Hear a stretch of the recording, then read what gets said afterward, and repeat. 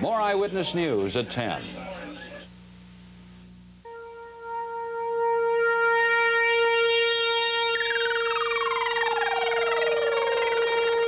Ladies and gentlemen, the star of Bizarre, Mr. Richard Dawson.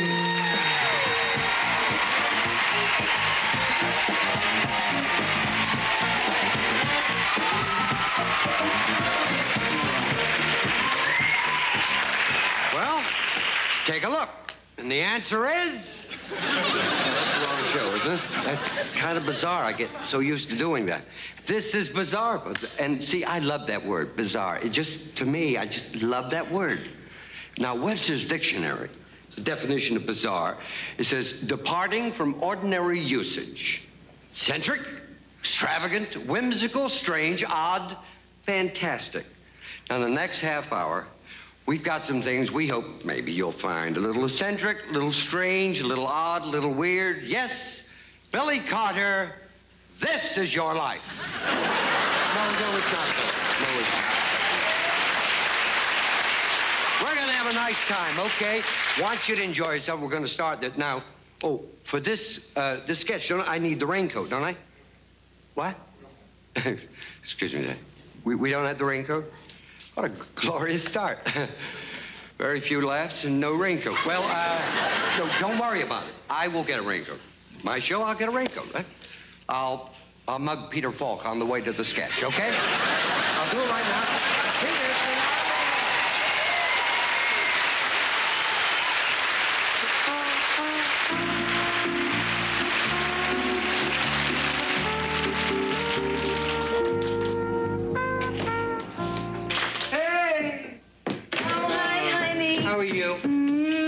Mwah. Oh, thank you. That's for you. Thank you. I mugged Peter Falk on the way home. It's kind of cute. Oh. Hey, what's the matter? You look worried. What? Don't tell me the rabbit didn't die, did it? No, no. Oh, I've been thinking about that all day. Oh, honey, it's What is Billy. that? Billy? Yeah, he was sent home from school again today. No, that's the fourth time this month. What happened? Well, they think he has like a behavior problem. Behavior problem, darling. That's that's absolutely crazy. He's a normal ten-year-old boy. I know that, and they think that we're responsible. Well, because that's typical, isn't it? Blame the Oh. parents, right? He's our son. If he had any kind of behavior problem, we'd be the first to know, wouldn't we? Honey, would you do me a little, little favor? What? Would you have like a little daddy and son talk Would that make you happy? So happy. You got it. Go get him. Billy, your daddy wants to talk to you. Honey, I'll cook dinner. All right. Come here, Billy. How are you? Hi there. Now listen, Billy. This is the fourth time you've been sent home from school, and they they say you've got a behavior problem. What are you doing at school that you're not doing at home?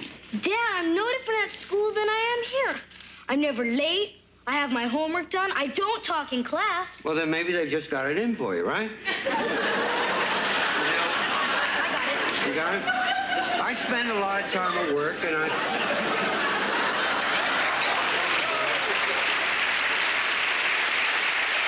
I spend a lot of time at work, and maybe, you know, I'm not putting as much time with you as I should, although I think I'd certainly know if there was anything wrong, you know, with your behavior.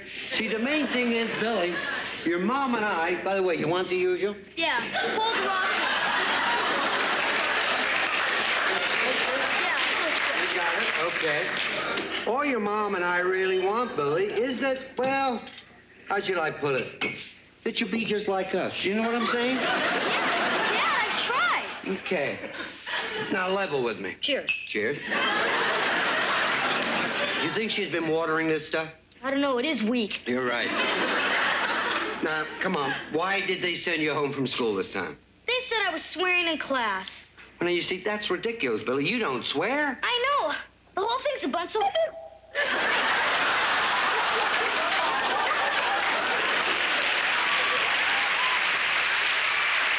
right, son. You're right, of course.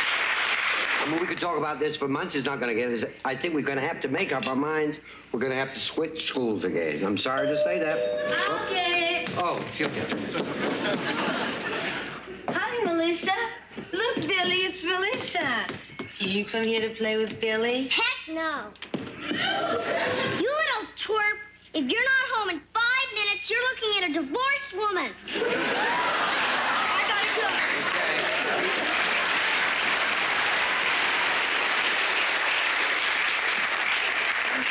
As soon as you find a new school, give me a ring. I'll be at the track. Oh, you wait a minute, Billy. It's freezing out there. You'll catch your death of a cold. Here, baby.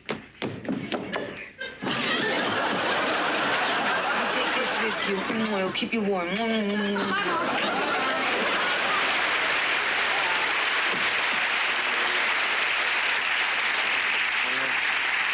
Such a lovely couple, aren't they? Behavior, I know. We better go upstairs and feed the baby. Oh, honey, we can't. Why not, Don? Because I just gave Billy the last bottle. You idiot.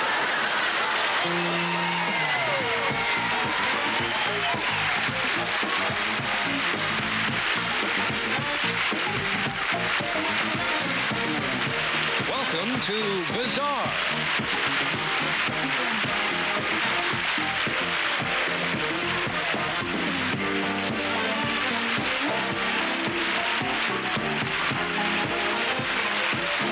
Bizarre, starring Richard Dawson, will return after this message.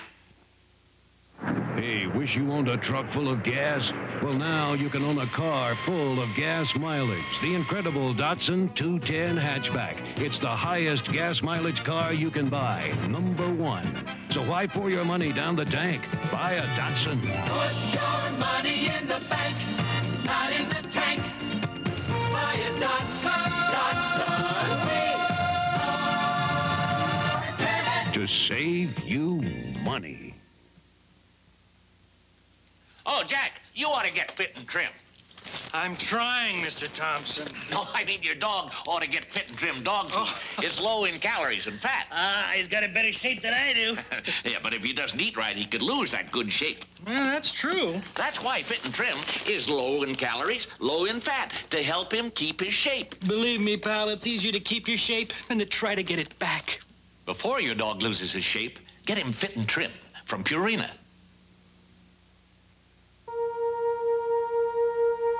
And now, ladies and gentlemen, unable to catch his son, once again, here's Richard Dawson.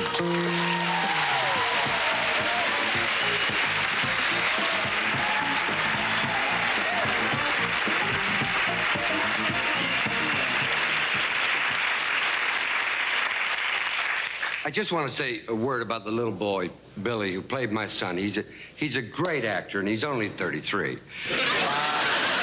Even though the baseball season's about to start, I have a feeling that our new national pastime in America is going to be football. I mean that. Right now, would you believe, March the 20th, there's a football training camp in session. And there's only one man who would have a football camp in March, and who is that? You've guessed it, he's the toughest coach this side of Woody Hayes. Former great Redskin and Ram head coach, Mr. George Allen. We'd like, if we may now, to take you to Honolulu, where Tom Harmon, standing by with George Allen, gonna have a little interview. Tom, can you hear us? Ladies and gentlemen, standing next to me is one of the greatest innovators in the history of professional football, the former head coach of the Washington Redskins and the Los Angeles Rams, and I might add, doing an outstanding job as the color man on the NFL Game of the Week, Mr. George Allen. Welcome, George. Thank you, Tom. Say, George, let's get right into this discussion here. Now, both the Rams and the Redskins have had fantastic seasons, and you've kind of been left out of the limelight. The fact of the matter is, most of the experts agree that you, George Allen, are responsible for the success of both teams because of the incredible conditioning program you gave them. Well, that's nice to hear, Tom, but I can't take full credit for it. Well, now, wait a minute. It's been said your exercise program in general, and specifically your new neck exercise for the lineman, is the toughest exercise given to a football player. And I don't want to pry, but I've been told that your neck exercise is precisely the reason why a number of Ram players left camp earlier this year. Well, that neck exercise is tough. It's really tough. But you know what they say when the going gets tough, the tough get going. Okay, now we've got 30 seconds. Could you show us the neck exercise for the lineman? Certainly. Jablonski, get over here. Jablonski, get in the pit. Oh, come on, Coach. I just did 2,000 push-ups on broken glass. I don't want to do this. Never mind that. Get in there. All right, Charlington. Are you ready? Ready, Coach. Begin the neck exercise.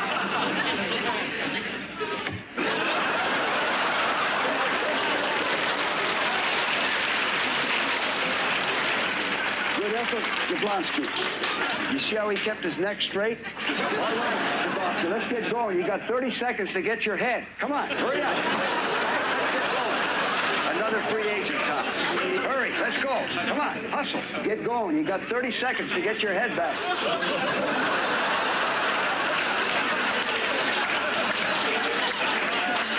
Ten seconds, Jablonski. Did I do it right, Coach? You got the wrong head, Jablonski.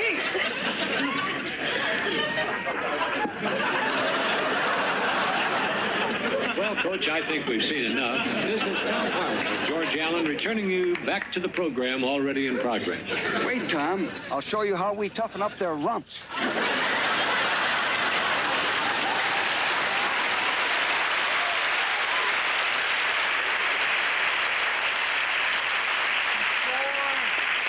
Before we do anything else, will you help me greet some very, very special people? Will you help me, please?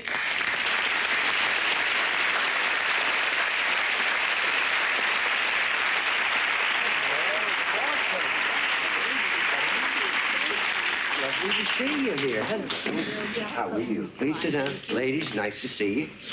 Well, What is your name, please? Sister Mary Aileen. We're delighted to have you here. Thank you. And your name? Sister Mary Evelina. Okay, and your sisters? We're twins. Oh, that's well, your sister, sister. Right. Right. Okay.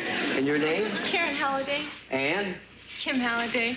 now, if you look at these, la- it's just absolutely astounding how identical they, you know, they are. I can understand twins looking alike as babies, but you're just grown women, and you're. I couldn't tell you apart. I bet you friends of yours all kinds of trouble, right? Right. Okay. Now these, remember, these darling people were in a contest that was held quite recently.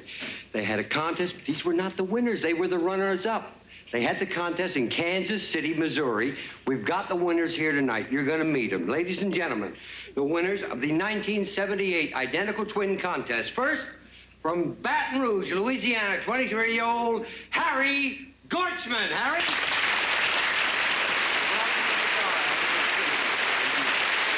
And now also from Baton Rouge, Louisiana, his identical twin brother, Larry Gortzman.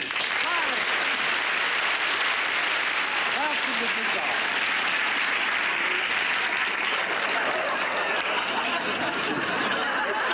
The mind, doesn't it? Just, I cannot believe. Obviously, you're the sun worshiper, but I, I cannot believe.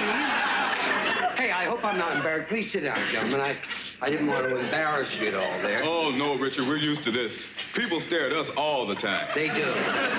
Is it, uh, well, I'm not, everybody's going to ask it. What's it like being a twin? Terrific. We fooled our teachers all the way through college we fooled around on dates, uh-huh. some pretty crazy things. and even in the business world, we had a little fun. And do you know, not on the, even on the telephone, no one can tell us apart. Couldn't tell you apart. And so I guess when it boils down to it, Richard, I like being an identical twin. Harry, you like being a twin. Larry, you feel the same way? No, Buck, William hell yeah.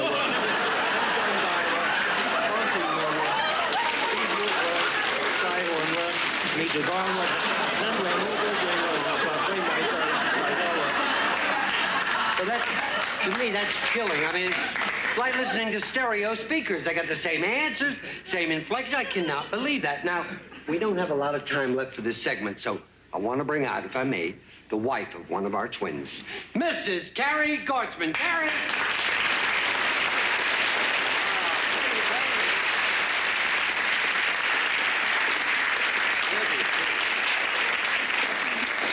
That's my wife. What? That's my wife.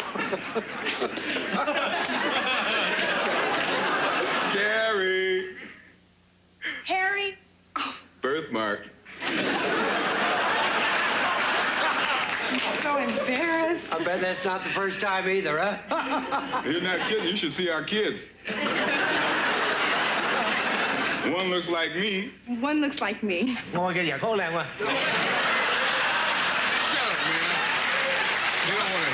I think you're right. Huh?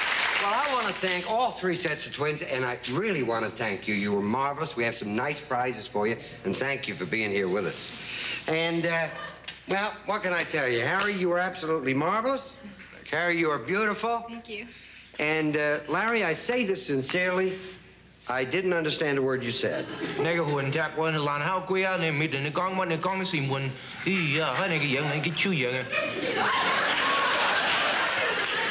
Well, I didn't come here for a lecture on communism.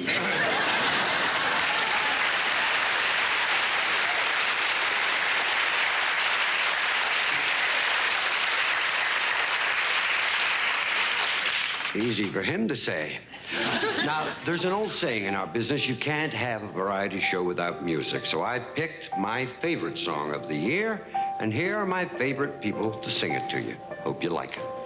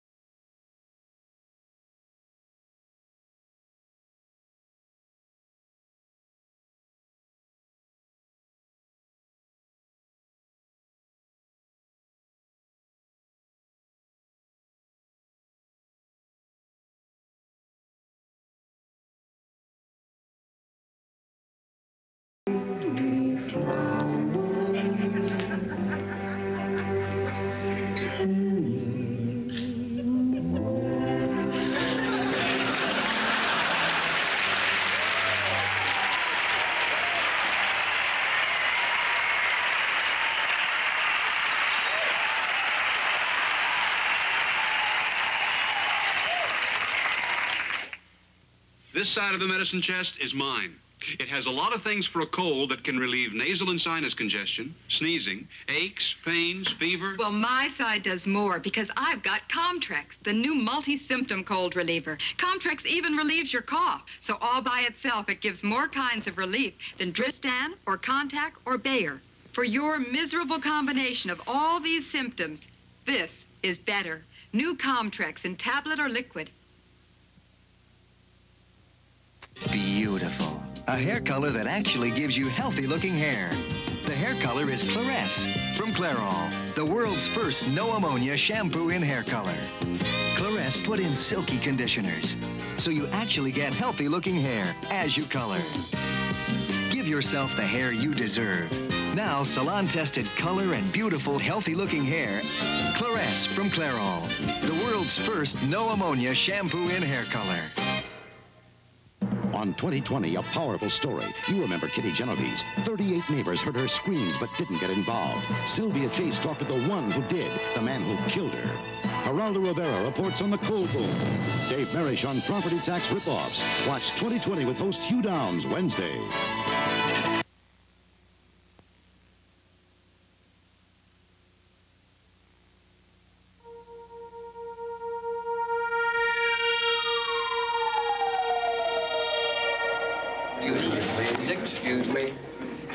I've got to have some room. May I, please? Mr. Mitchell, Mr. Mitchell, what do you hope to accomplish by bringing this dog to court? Well, I brought my client to court because I think, honestly and truly, when the facts are out, this dog will be awarded at least $1 million. Well, what are the facts? Facts are clear. For three and a half years, my client was the live-in companion of the famous Hollywood movie star, Lassie. There you go.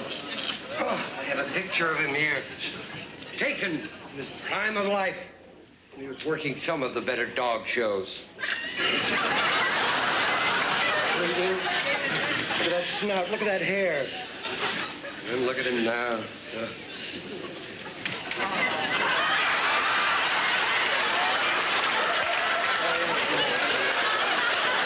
What will the ultimate effect? Mr. Mitchell, could you answer one more question? No, I'm sorry, I can't. I see I have another client here.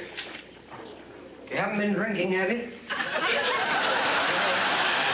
Is this who we think it is? Yes, of course. It's Cheetah. I'm sure you remember when she testified against Tarzan. that was an ugly case. Don't want to think about that. Anyway, I thank you. Good day. Oh, then you expect a decision today, huh? I certainly hope so, because quite frankly, this case is beginning to stink.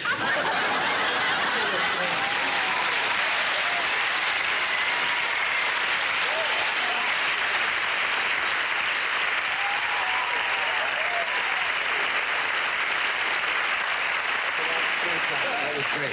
Hey, we got some magic right now. We got something I think is going to interest everybody, particularly the women. Bless you, ma'am. Nothing too small for us to stop, pause, and be human. We've got something tonight that's really very, very exciting. Two nice ladies are going to discuss modern women. Tonight's topic, by the way, is cosmetic surgery. Will you help me greet my guests, Dottie Pritchard and Mary Ann Mason? Welcome, ladies. Welcome. You're not nervous, are you? Okay. Uh, I'm delighted to have both of you here, and I know both of you have had some type of surgery done. So, Dottie, let's start with you. Okay, well, first, Richard, I just have to tell you that cosmetic surgery has just changed my entire life. I mean, I used to be like so chronically depressed and everything about my appearance, and now my depression's just been lifted. Along with almost everything else, I would imagine. Uh, I think we've got a picture of you here, Dottie, taken before surgery.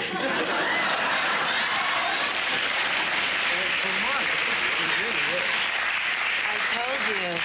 So you see, Richard, life was no bed of roses for Dottie. Uh-uh. So what I did was I had my face lifted, I had my nose fixed, I had my teeth capped, and, well, the rest, they speak for themselves. Mary Ann, I understand that you're a pianist. Is that correct? Yes, that's right, Richard. Uh-huh. And uh, I think we've got a picture here of you taken, yeah, when you were on your concert tour, right before surgery. Yes. Now, to be very honest with you, Mary Ann, I don't notice much change in your appearance. Well, actually, it's a little hard to tell from the photo there, Richard. But you see me straining with my right hand to reach a full octave? Uh-huh. Well, that was so many keys that my hand was just too small to make that reach. Ah, so you had your hand stretched. Oh, dear, no, Richard. We, we thought that the simplest solution was to uh, simply replace my hand with a larger hand. This used to belong to a professional football player. Really? Yes, no Super Bowl winner, but now I can reach two octaves. Oh, well, that's good. Has it been difficult getting used to a man's hand? Well, I think it will take me a little while to develop full control. Well, there are some cosmetic problems to be ironed out. I see that. Um, was this uh, a very expensive operation? Oh, yes, it was, Richard, but uh, I really, really feel that in the long run it'll be worth it. It would be, yeah. Uh, as far as you know, has this operation... Has this operation ever been done on anyone else before? Well, not that I know. Are you all right? Are you okay?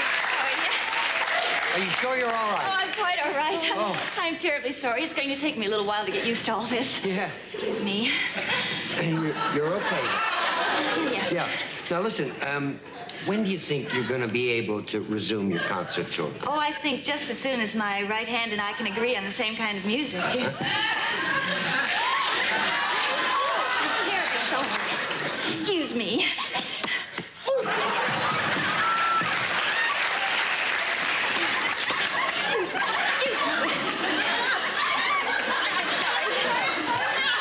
I'll be back.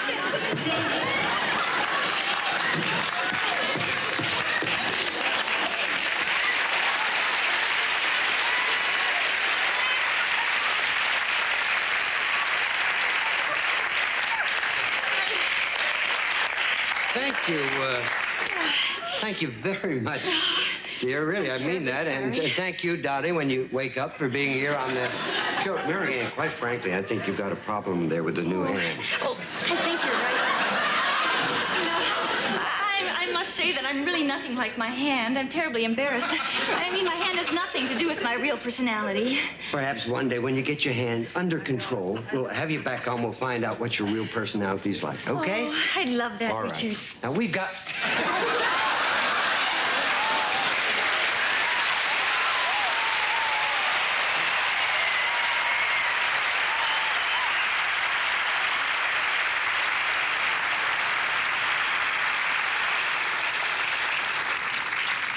Good afternoon, everyone. This is Mike Botula, and I'm standing here at the Los Angeles Coliseum with Mayor Tom Bradley.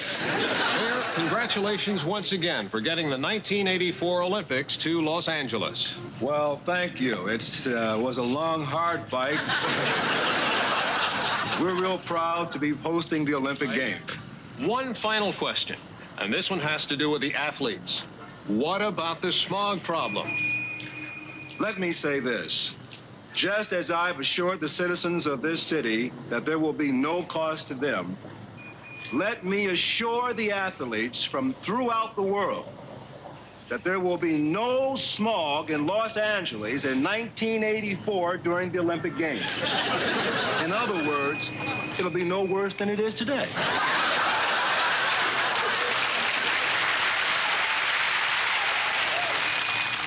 Good interview, Mayor. Maybe next time we can talk about a rapid transit. Oh!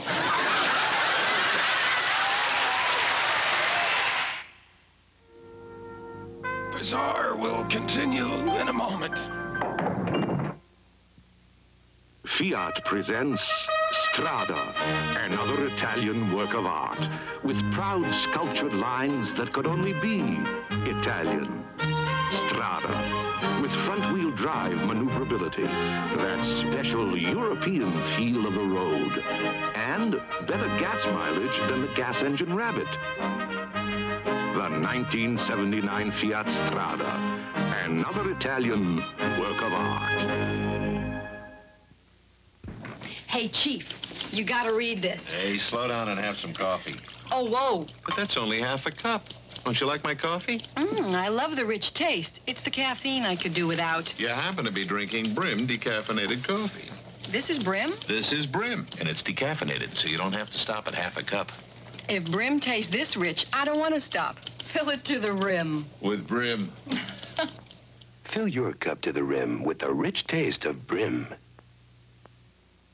I know we've only got 45 seconds, but you ever watch a show that you really loved and the credits roll by, you never know who the cast is? This is not going to happen on this show because I'm going to take a little time so you'll meet some of the performers. It's been such a delight for me to work with. People like Tanya Boyd, Stephen Furst, Toby Hoffman, Brad Sanders, Nathan Jung, Janny Litton, uh, Bill Kirchenbauer, Patty Pivar, Nancy Steen, Melissa Steinberg, Anne Rendal Stewart, Eric Taslitz, and Julianne Wells. And I'm going to bring them all out. I know we're rushed. Before we do, let me just thank Jacques Boudery of Encino. Thank you for the zippers in the boots. I never could have made the changes. And Jacques, as we say, merci. Line them up alphabetically. I'll get them out. You- You'll be on. Oh, Sam's Pinky Emporium, also of Encino. Did, I got so many comments, Sam. People didn't even see where it turned green. I thank you. Have I done it all? No, the catering. Shaughnessy's catering. Trust me, I swear, trust me, you'll be on. Shaughnessy Mom in Miami, you know I love you. God bless you. Mari, Shirley, Freddie, you know why you're special to me. Bob Allen, we'll talk a little later. And now what really counts, what I promise you, the icing on our cake, the cast. I'm going to bring them out. You'll meet them all individually. Ladies and gentlemen, the cast of our Bizarre show. Nice big hand. First of all, right here. I couldn't do without him, Mr. Steve. Cut, cut, that's it. Show's over. Thank you, everyone. Richard, David Brenner's on the phone. He said you promised you wouldn't use his picture on the show. So I lied. Friday live, WBC heavyweight champ Larry Holmes defends his title against Ossie Ocasio, and Ken Norton takes on Earnie Shavers. The top four WBC heavyweights Friday. And late night tonight, it's a case of a cool million, and the only man who can take it around the world is that man Bolt. Tonight in Chicago, the latest on a condominium showdown in Chicago.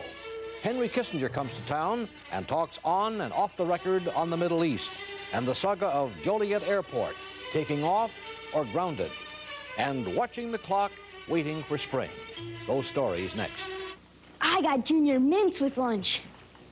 Thanks a bunch. Oh, you got junior mints for the show. There they go. I got junior mints for the crowd. For crying out loud. Junior Mints, luscious creamy mint bathed in rich real chocolate. I got junior mints for my break. For Pete's sake. Junior Mints by Nabisco. A real crowd pleaser. Uh-oh, we'll be home in about an hour. Okay, Wards, we bought your microwave because it really is advanced.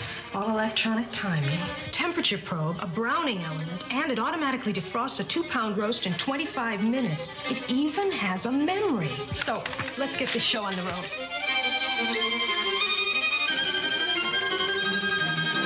Home, where's my Monday meatloaf? I thought we'd try something different, dear.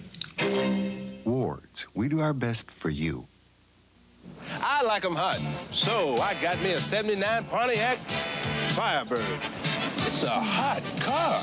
Hot price, too. And when you gotta go, it goes. Firebird's got the look that says, move over. I'm coming through. Chicago Fireman, Pontiac Firebird. It's a match made in heaven. Oh.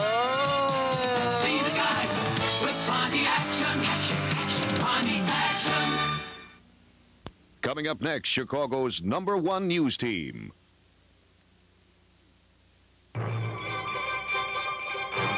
This is Eyewitness News at 10 for Tuesday, March 20th. Reported tonight by Fahey Flynn and Joel Daly, John Coleman with weather, and Tim Weigel on sports. How do you do, ladies and gentlemen? I'm Fahey Flynn. I'm Joel Daly. And here's the latest at 10 o'clock.